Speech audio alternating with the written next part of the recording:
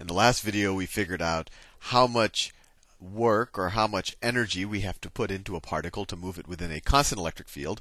Let's see if we can do the same thing now with a um, with a variable electric field, and actually then we could figure out the electric potential of one position relative to another. So let's say we have a point charge. Right, it doesn't have to be a point charge, but you know, let's just say that there's some field being generated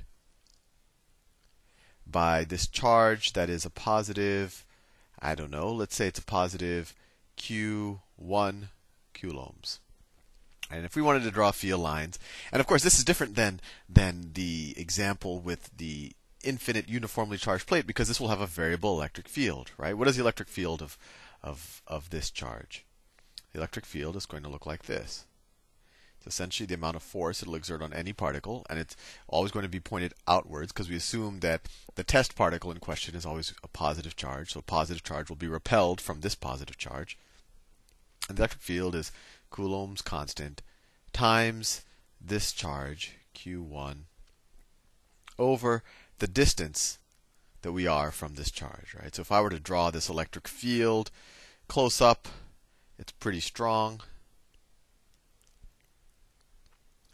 Close up, it's pretty strong. And then as we get further, it gets weakened, weaker a little bit. It's always radially outward from the charge. This is a bit review for you.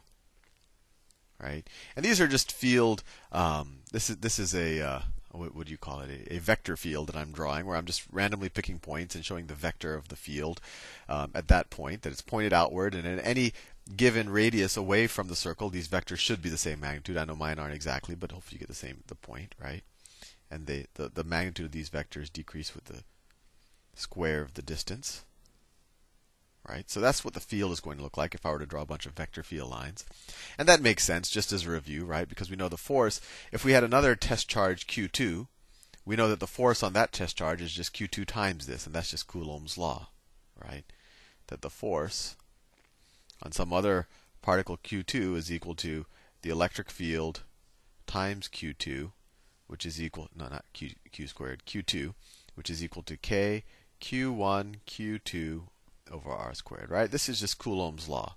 And actually this comes from Coulomb's law. So let's let's since we know that, let's let's take some other positive char particle out here and let's call that q2. And not a big q, I'll do a small. Uh, um, I'll write it up here since I already messed up down there. q2 and let's say this is a positive charge. So it is going to be repelled, repelled from this, uh, from from Q1. And let's say how, let's figure out how much work does it take to push in this particle a certain distance, right? Because the field is pushing it outward, it takes work to push it inward. So let's say we want to push it in, I don't know, let's say it's at 10 meters. Let's say that this distance right here, let me draw a radial, radial line. Let's say that this distance right here Let's say that that distance is, I don't know, 10 meters. And I want to push this particle in 5 meters. So it eventually gets right here. Right? This is where I'm eventually going to get it, so then it's going to be 5 meters away. So how much work does it take to move to move it 5 meters towards this charge? Well, the way you think about it is the the field keeps changing, right? But we can assume over a very, very, very, very infinitely small distance, and let's call that infinitely small distance dr, right? Change in radius. And as you can see, we're about to embark on some integral and differential calculus. If you don't understand what any of this is, you might want to review um, or learn the calculus in the calculus playlist. But how much work does it require to move this particle a very, very small distance? Well, let's just assume over this very, very, very small distance that the electric field is roughly constant.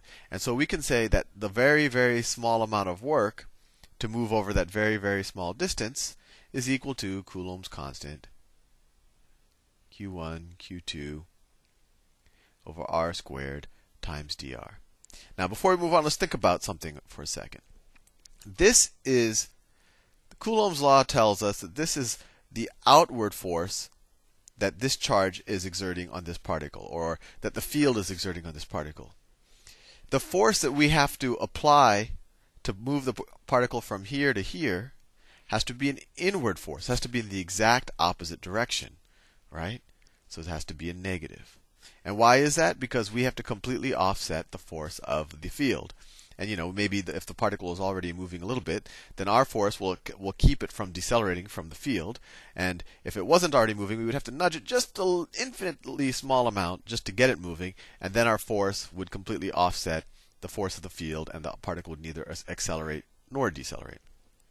So this is the amount of work, and I just wanted to explain that we want to put that negative sign there because we're going in the opposite direction of the field. So how do we figure out the total amount of work? Right? We figured out the amount of work to get it from here to here, and I even drew it much bigger than it would be. You know, these drs. This is an infinitely small change in radius.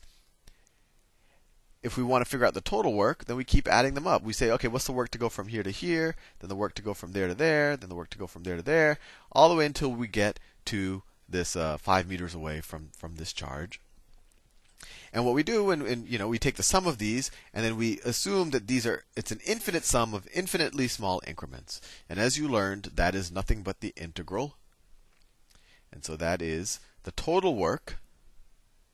The total work is equal to the integral. That's going to be a definite integral because we're starting at this point. We're summing from our radius is equal to 10 meters. That's our starting point to our radius equal 5 meters. You might not, that might be a little unintuitive that we're starting at the higher value and ending at the lower value, but that's what we're doing. We're pushing it inwards. And then we're taking the integral of minus k q1 q2 over r squared dr. All of these are constant terms up here, right? So we could take them out. So this is the same thing. I don't want to run out of space, as minus k q1 q2 times the integral from 10 to 5 of that's well 1 over r squared or r to the negative 2 dr. And that equals minus k I'm running out of space q1 q2 and we take the antiderivative. We don't have to worry about plus c because it's a definite integral. r to the negative 2, what's the antiderivative? It's minus r to the negative 1. Well, that minus r, I will just, the minus on the minus r will just cancel with this. So that becomes a plus. r to the negative 1. And you evaluated at 5, and then subtracted, evaluated at 10. And then, let me just go up here. I know I'm, actually, let me erase some of this. Me erase this up here.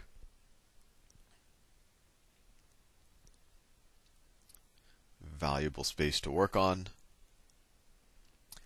So what is so let's see, we, we said that the work is equal to I'll just rewrite that.